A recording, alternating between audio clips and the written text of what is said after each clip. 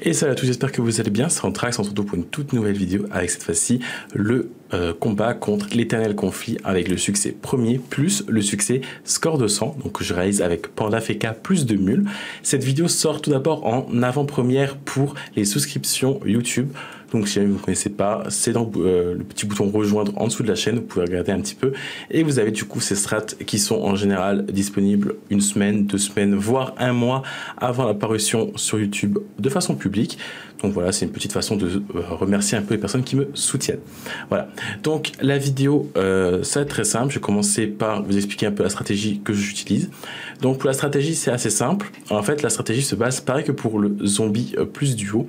En fait, on va utiliser le panda qui va porter le feka et le feka va simplement rester sur le panda cette fois-ci et sans le zombie du coup il ne prendra pas de dommages. Donc le feka aura toujours le même principe de combat, il va tuer le braclotin pour pouvoir taper le boss etc. Au niveau des stuffs utilisés c'est très simple, sur le panda on va utiliser un stuff très proche euh, du stuff euh, originel. Alors je vais juste vous mettre la petite variante que j'utilise voilà. Donc, le stuff me donne 4300 points de vie, 8 PA, 5 IPM, et me donne du coup une résistance 2% neutre, 42% terre, 50% feu, 50% eau et 46% air. Au niveau des résistances fixes, 41 fixes terre, 208 feu, 100 eau et 40 en air. Donc, le stuff se joue avec un casque Dragueuf, une cape de Rikirel, une ceinture de Lamanda, des guettas des tombeaux et un anneau de Kumio, donc avec le bonus panneau qui me donne 20 de réfix dans tous les éléments, un collier Rofante, un anneau d'Eliawood, un roi pâtisserie d'Armin, une rature de Fanster, mon crocodile. En Dofus, j'ai Dofus tacheté, le Dofus ivoire, le Dofus cacao, un Dofus émeraude qui est très important puisque vu qu'on fait premier, on aura toujours au corps à corps le Brutas Modan ainsi que l'éternel conflit. Donc on a tous les tours 400 de shield qui sont gratuits. On a également un carapace haut et une muraille haut majeure. Donc ça c'est pour le stuff euh, du Pandawa. Et pour le stuff euh, du Feka, on ne change pas une équipe qui gagne, on joue avec notre stuff full pas de greffe, avec ceinture strigide et amus strigide, avec une cape du professeur Xa, une bague de corruption, un bivalve, une écache et un coculte. Le Dofus du cauchemar, on alterne selon les besoins par rapport au bonus, sinon on met un Dofus pourpre. On a le Dofus turquoise, le Dofus vulbis, le Dofus abyssal, l'ocre et le Dofus des glaces. Ce qui est du coup toujours un stuff en 12 PA, 5 PM avec 95 de coups critiques, 342 de force, 171 de puissance. 180 de dommages critiques, 66 de dommages terre et des résistances, on s'en fiche puisqu'on fait totalement intouchable avec ce combat. Donc on se retrouve tout de suite avec le combat et on pourra du coup commenter le combat. A tout de suite. On se retrouve du coup pour le combat. Donc le combat est fait avec les idoles euh, double pétunia, double pygmy, ulu magistral et le muta. Et pour euh, le cauchemar de la zone, c'est avec le cauchemar menace intangible, donc du coup qui est le cauchemar qui nous divise par deux les dégâts qu'on inflige à distance et qui nous fait augmenter de 20% les dommages qu'on inflige au corps à corps. Ce bonus est un des plus compliqués, c'est pourquoi j'ai attendu d'avoir justement une vidéo avec ce bonus pour vous présenter la technique. Et euh, puis voilà, pour présenter des techniques avec justement le bonus qui pose le plus de soucis, pour vous montrer que c'est assez simple. Du coup, pour la strat, c'est très simple. On va avoir l'éternel conflit qui sera notre corps à corps. On aura le brutas qui sera notre corps à corps tout le temps. On va essayer de délock le plus vite possible l'éternel conflit. Une fois que l'éternel conflit sera délock, on aura simplement euh, à le tuer euh, tranquillement, du coup avec la même boucle qu'on utilise normalement avec le zombie plus duo, c'est-à-dire en tuant le braclotin à distance, puis en tapant le boss au corps à corps. Et ensuite, on tuera tranquillement les mobs dans une suite logique, c'est-à-dire le Diabélial en premier qui est le mob le plus chiant, et ensuite le Brutasmodan et le euh, Malefisto qui est juste un allié pour ce combat, toujours encore, puisqu'il nous permet de pas euh, tomber du Pandawa avec le Feka. Donc la stratégie est assez simple. Il faut aussi savoir que le Feka n'a absolument pas le droit de descendre du Pandawa. Avec les idoles, c'est très simple. Hein. S'il descend et qu'il marche dans le glyphe, il va du coup proc les pétunias et va mettre énormément de dommages au Pandawa. Et pareil, si on descend pour taper, on va infliger énormément de dommages au Pandawa. Donc faut vraiment ne jamais descendre. Faut toujours un mob au corps à corps pour le Muta euh, au début de combat, pour euh, le temps de proquer les shields. Pour la suite du combat, on s'en fout, parce que de toute façon, on aura un point de vie max. Mais de toute façon, le Brutas Monant a une IA qui va le forcer à aller au corps à corps, donc c'est pas un souci à gérer. Pour le Ulu, j'avais fait un test avec le Ulu majeur seulement, et le boss finissait souvent en fait à une case de nous. C'est pourquoi il faut vraiment utiliser le Ulu magistral, qui permettra simplement en fait au boss de euh, venir à notre corps à corps et donc de proc le deuxième coup d'émeraude. Donc le Malifisto, lui, aura toujours son IA qui va un peu le faire reculer, c'est pas un problème par rapport à ça. Le Diabellal, pareil, il va rester assez à distance euh, du combat. Et le Brutus cependant, lui, il nous reste au corps à corps. C'est vraiment 200 de shield qui sont totalement gratuits grâce au Tovus Emerald. C'est vraiment un mob euh, vraiment très sympathique. Pour le Braclotin à tomber, c'est un petit peu chiant à cause du bonus, mais c'est pas trop un problème. Vous voyez, on tape que du 500 alors qu'on devrait taper normalement pratiquement du 1200 mais c'est pas trop un problème, hein. ça va juste nous faire perdre un peu de temps sur le combat.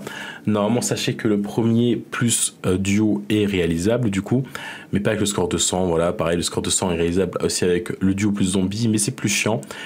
Donc euh, je préfère le faire personnellement sur le succès premier, le succès premier étant donné qu'on le fait avec euh, double pas un double perso, puisqu'en général on fait soit avec double Panda FK, soit on le fait avec euh, juste Panda FK euh, plus deux autres persos. Par exemple là c'est le passage de deux clients. On a du coup accès aux idoles A4, donc le Pikmi, le Petunia, le Ulu, qui sont des idoles qui sont vraiment beaucoup plus simples pour les strats, Panda plus, euh, plus DPS. Donc le combat est assez long, il dure pratiquement 50 minutes je crois. Donc euh, c'est vraiment un combat qui met énormément de temps, mais c'est normal, hein, puisque du coup il y avait le bonus qui jouait, il y avait le fait que je fais un rec, donc du coup j'ai les états d'activer, j'ai les animations de sort d'activer, etc. Donc c'est pour ça plus sympathique à regarder. Et je faisais un passage, donc du coup il y avait un client dans le combat qui n'aide pas forcément au niveau euh, du lag serveur. Voilà. Donc le combat est plutôt simple, hein. personnellement je le fais toujours en une ou deux tentatives, hein, comme toujours les passages, hein. c'est un conflit vraiment un donjon que j'adore par rapport à ça, il est vraiment très simple une fois qu'on a bien compris comment marche le donjon. Euh, donc là voilà on perd un peu de temps de temps en temps avec euh, le braclotin qui est dans l'état enraciné si le boss a fait son bond dessus. Donc ça c'est juste important à le retenir parce que voilà on peut perdre deux tours comme ça facilement et on peut pas vraiment vraiment l'esquiver mais c'est ce qui fait qu'on perd énormément de temps. Il faut également savoir que euh, du coup à chaque déloc on a 25% de chance de faire proc le cauchemar. Donc le cauchemar qui est l'invocation. Cette invocation est assez euh, chiante et voilà elle proc à 25% dès qu'on tue euh, une des deux invocations. Donc on peut faire perdre pas mal de temps comme ça aussi et, puis voilà c'est ce qui augmente un peu la durée du combat. On se retrouve juste après le kill du boss que je vais encore un petit peu accélérer et ensuite on discutera par rapport au kill des mobs. A tout de suite.